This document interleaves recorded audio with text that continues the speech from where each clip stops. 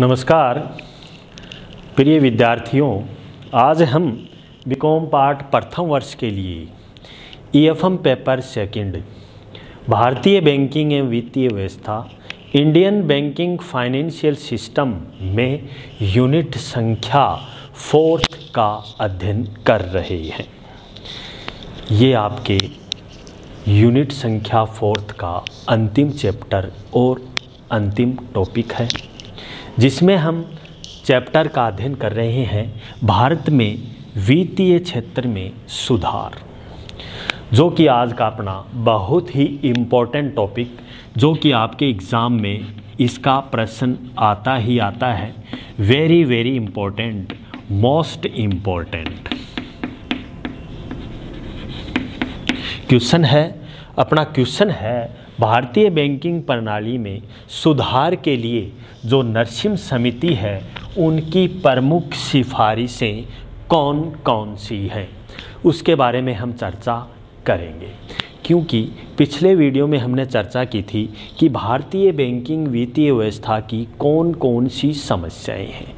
उन समस्याओं के समाधान के लिए नरसिम समिति उन्नीस सौ इक्यानवे में गठित की गई, जिसमें अनेक प्रकार की सिफारिशें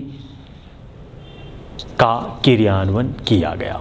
भारत में वित्तीय बैंकिंग के सुधार के लिए जो नरसिम समिति हैं, उनकी अनेक प्रकार की सिफारिशें हैं जो कि निम्नलिखित हैं। पहली सिफारिश तो ये है कि बैंकिंग क्षेत्र में या उसके ढांचे में तीन या चार गुणे में पुनर्गठन किया जाए या अंतर्राष्ट्रीय स्तर पर अपनी पहचान बना सके।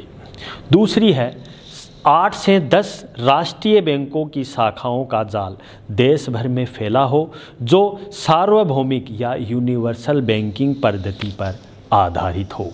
तीसरी सिफारिशें, स्थानीय बैंक, परिचालन क्षेत्र, विशेष तक सीमित हो। चौथा है, क्षेत्रीय ग्रामीण बैंक और ग्रामीण बैंकों का परिचालन ग्रामीण क्षेत्रों तक सीमित हो तथा उनके व्यवसाय में कृषि और संबंधित गतिविधियों की अधिकता हो। परंतु लाभप्रदता का भी पूरा ध्यान रखा जाना चाहिए। पांचवी सिफारिश की हम बात करें तो प्रत्येक सार्वजनिक क्षेत्र के बैंक द्वारा एक या अधिक ग्रामीण बैंकिंग सहायक इकाइयाँ खोली जाएँ तो उनकी सभी ग्रामीण शाखाओं का अधिकरण कर सकें। क्षेत्रीय ग्रामीण बैंकों को सभी प्रकार की बैंकिंग व्यवस्था या बैंकिंग व्यवसाय करने की अनुमति हो, शाखाओं के लिए लाइसेंस प्रणाली समाप्त की जाए और शाखाएँ खोलने या बंद करने का काम संबंधित बैंकों पर छोड़ दिया जाए। अगली सिफारिश है, जो विदेशी बैंक हैं, भारत में जमाओं के रूप में, सहायक कंपनियों के रूप में कार्यालय खोलने की अनुमति दी जाए, जिससे भारत में बैंकिंग प्रणाली सुदृढ़ हो सके। अगली सिफारिश की हम बात करें तो विदेशी बैंकों से वही अपेक्षाएँ की जाएँ, जो भारतीय बैंकों से की जाती हैं। भारतीय बैंकों के विदेश, विदेशों से परिचालन तर्क संगत बनाया जाए। ये भी इसकी सिफारिशें हैं। अगली सिफारिश की हम बात करें कि बैंकों में कार्यों के लिए कंप्यूटीकृत या कंप्यूटर कंप्यूटरीकरण को बढ़ाया जाए। अधिक से अधिक कार्य कंप्यूटर के माध्यम से संपादित किया जाए। तो कंप्यूटरीकृत भी किया जाए, जिससे आसानी से कंप्यूटर का सहारा लेके तीव्र गति से बैंकिंग क्रियाएँ आसानी से क्रियान्वित हो सके। बैंकिंग आयोग की स्थापना की आवश्यकता इसमें नहीं है, क्योंकि खुद ही नरसिम समिति एक निकाय के रूप में भूमिका का निर्वहन करती है। प्रत्येक अलग बैंक को अधिकारियों की भर्ती की अनुमति दी जाए, जिससे सहायक तरीके से क्रियान्वयन हो सके। पर्यवेक्षी स्टाफ द्वारा निरीक्षण का काम आंतरिक लेखा परीक्षण और आंतरिक निरीक्षण रिपोर्ट पर आधारित हो सके। पंद्रहवीं है, बैंकिंग प्रणाली पर रिज़र्व बैंक तथा वित्त मंत्रालय के बैंकिंग विभाग का दोहरा नियंत्रण समाप्त किया जाए और रिज़र्व बैंक को ही बैंकिंग प्रणाली को नियमन का दायित्व भी सौंपा जाना चाहिए। बैंकों तथा वित्तीय कार्यों के पर्यवेक्षण के लिए रिज़र्व बैंक के नियंत्रण में एक अलग अर्ध स्वायत्तपूर्ण प्राधिकरण भी बनाया जाना चाहिए, जिससे कार्य सुगम और सही तरीके से संपादन हो सके। बैंकों के मुख्य कार्य अधिकारियों या निदेशकों की नियुक्ति राजनीतिक रूप से मुक्त किया जाए। राजनीतिक क्षेत्र को इसमें बढ़ावा नहीं हो, क्योंकि बैंकिंग क्षेत्रों के कार्यों को संपादित करने के लिए कोई भी कर्मचारी जब नियुक्त होता है, वो कर्मचारी या अधिकारी में राजनीतिक हस्तक्षेप नहीं होना चाहिए। ये नरसिम्ह समिति की सिफारिशों में उल्लेखित है। बैंक की एसएलआर को पाँच वर्ष के भीतर चरणबद्ध कार्यक्रम के तहत घटाकर 25 प्रतिशत से नीचे किया जाए, जिससे बैंकिंग गतिविधियाँ सुदृढ़ हो सके। सीआरआर को भी इसी प्रकार से घटाया जाए। कैश रिज़र्व रेशियो जो कि बैंक का नकद कोषानुपात होता है, उसकी घटानों की सिफारिशें नरसिम्ह समिति करती है कि किस प्रकार से सीआरआर को घटाया जाए। निर्देशित ऋण कार्यक्रमों को चरणबद्ध रूप से समाप्त किया जाए। निर्देशित ऋण कार्यक्रम को चरणबद्ध तरीके से समाप्त किया जाए, क्योंकि ऋण प्रक्रिया में काफ़ी समस्याएँ आती हैं तो इनको समाप्त किया जाए। प्राथमिक या प्राथमिकता प्राप्त क्षेत्र को पुनः परिभाषित किया जाए, जिससे सही तरीके से क्रियान्वयन हो सके।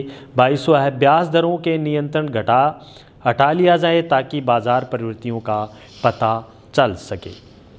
तेईसवा है, मार्च उन्नीस सौ तिरानवे तक वाणिज्य बैंकों के जोखिम भारित परिसंपत्तियों के संबंध में कम से कम चार पूंजी पर्याप्तता के रूप में प्राप्त करनी चाहिए। तो नरसिम जो समिति है, वो सही तरीके से एक निकाय के रूप में संपादित विभिन्न गतिविधियों को पूरा करती है।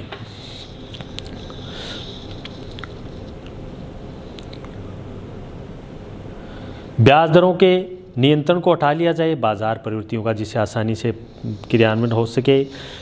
मार्च उन्नीस सौ तिरानबे तक मैंने बताया कि वाणिज्यिक बैंकों के जोखिम में भारतीय परिसंपत्तियों के संबंध में कम से कम चार प्रतिशत पूंजी प्राप्त कर लेनी चाहिए। बैंकों के समान रूप से लेखा पद्धति अपनानी चाहिए। वे अपने तुलन पत्रों या पूर्ण पारदर्शिता के रूप में बढ़ाया जाए। ऋण वसूली प्रक्रिया को तेज़ बनाने के लिए सरकार के विशेष अदालतें इसमें खोलनी चाहिए। बैंकों के असौदे या संदिग्ध ऋणों का कुछ भाग अधिग्रहण करने के लिए एक परिसंपत्ति पुनर्निर्माण निधि एएफआर की भी स्थापना की जाए। ये नर्सिंग समिति की सिफारिश सिफारिशों में बैंकिंग प्रणाली में काफ़ी सुधार होने की आशा थी, परंतु इनमें से बहुत रूप, बहुत ही कम लागू की गई है। अब हम चर्चा करेंगे बैंकिंग प्रणाली के हुए नवीन सुधार। ये तो सिफारिशें हुई कि बैंकिंग प्रणाली में ऐसे कौन कौन से सुधार हुए हैं, जिसमें पहला है, जैसा कि आप जानते हैं 1969 को 14 बड़े व्यापारिक बैंकों का राष्ट्रीयकरण हुआ, जिसमें जमाए राशि संग्रहित होकर शाखाओं का काफ़ी विस्तार भी हुआ है, जिसमें अप्रत्याशित वृद्धि भी हुई है जमाओं में। तो अनेक प्रकार के उन्नीस सौ इक्यानवे बानवे में भी और भी सुधार किए गए हैं कि प्रमुख सिफारिशों के बाद में बैंकिंग प्रणाली को किस प्रकार से सुदृढ़ किया जाए। जिसमें पहली है पूंजी पर्याप्तता मानक।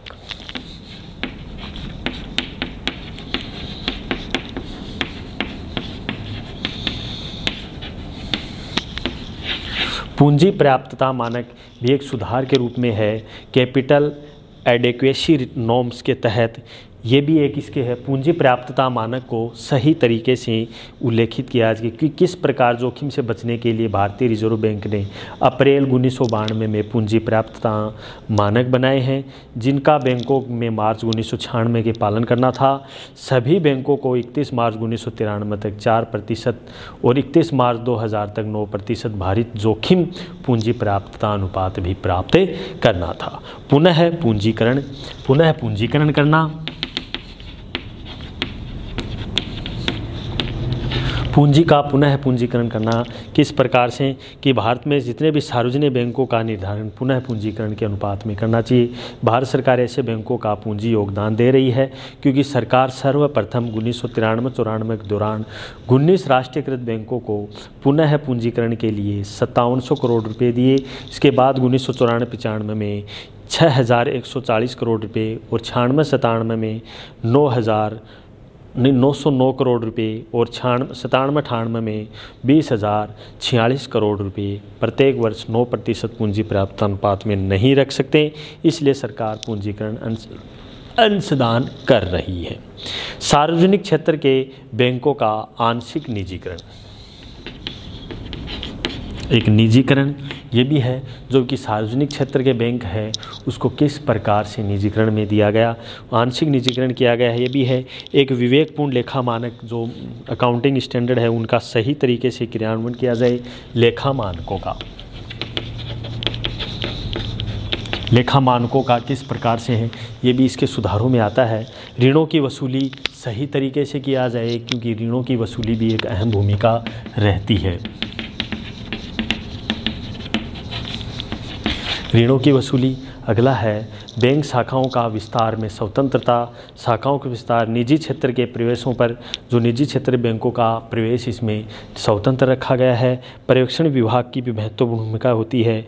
वित्तीय परीक्षण बोर्ड की स्थापना, दोषी ऋणियों का प्रकटीकरण, ये भी सम्मिलित है। बैंकिंग लोकपाल योजना, जो बैंकिंग क्रिया को सही तरीके से क्रियान्वित हो सके।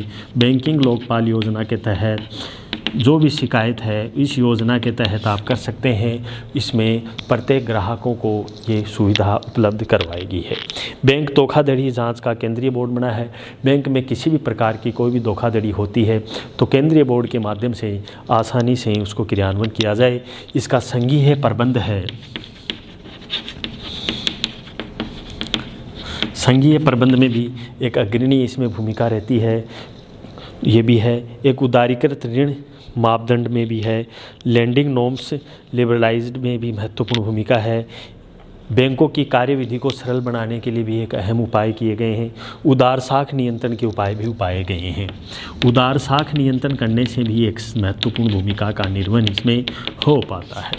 उदार साख नियंत्रण तो इस प्रकार भी विभिन्न प्रकार की ये सुधार हैं जो कि नरसिंह समिति के अलावा है। नरसिंह समिति के सुधारों को इस प्रकार से द्वितीय सिफारिशों के आधार पर भी इसमें किया गया है, जिसमें नौ परसेंट पूंजी पर्याप्तता अनुपात रखना ऐसोदे ऋणों की वसूली करना recovery dept on due to banks and financial institute act 1993 के तहत।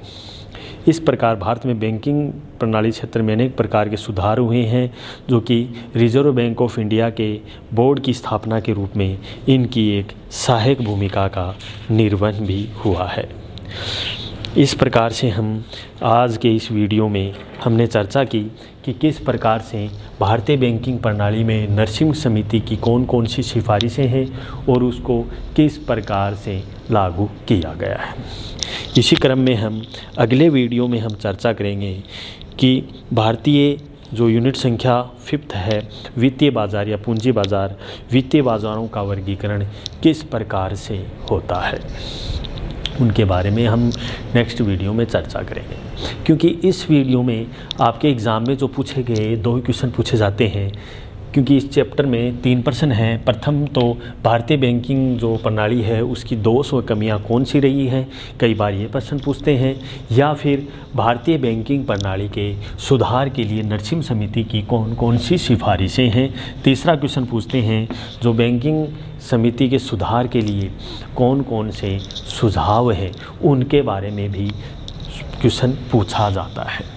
तो इस प्रकार से हमने यूनिट संख्या प्रथम से लेकर के फोर्थ तक आज तक हमने यूट्यूब चैनल या वीडियो के माध्यम से हमने आपको डेली डिलीवर किया है। अब तक हमने फोर्थ यूनिट कंप्लीट कर चुके हैं।